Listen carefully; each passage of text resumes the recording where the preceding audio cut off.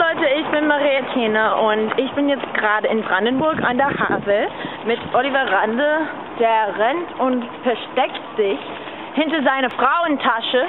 Ähm, na, also heute haben wir, egal, heute haben wir die Kanzlerin gesehen.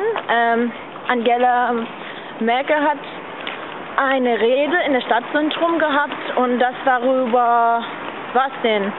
Europäischen Kreis und was dass man wählen soll und kommt gleich Autos, wir sind in der Straße. Ähm,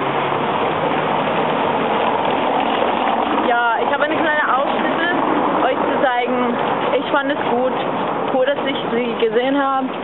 Und ja, so, bis bald, vergiss nicht zum Abonnieren. Ähm, viele Gruß aus Deutschland. Und ja, okay. Tschüss.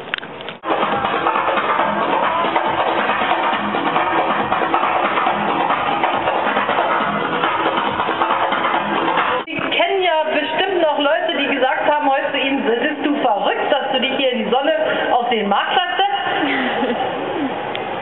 Und wenn Sie die heute Abend treffen, dann sagen Sie denen, verrückt bin ich nicht. Es gab auch ganz Interessantes zu hören. Und dann sprechen Sie nochmal drüber bis zum 11. September mit Ihren Familien, mit Ihren Nachbarn, mit Ihren Kollegen bei der Arbeit oder im Verein, was da zur Debatte steht und ob es sich nicht lohnt, Brandenburgs Erfolg fortzuschreiben.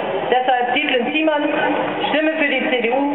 Herzlichen Dank, dass ich heute hier sein darf und vor allen Dingen herzlichen Dank, dass Sie gekommen sind. Dann uns allen noch einen schönen Tag und kein